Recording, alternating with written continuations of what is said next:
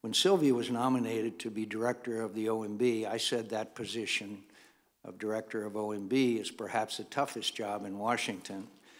The position for which she is currently nominated is perhaps the most thankless. That's why I advised her against taking the leadership position at HHS. After all, who would recommend their friend take over as captain of the Titanic after it hit the iceberg? Obviously, she ignored my advice and accepted the nomination anyway, continuing her pattern of public service.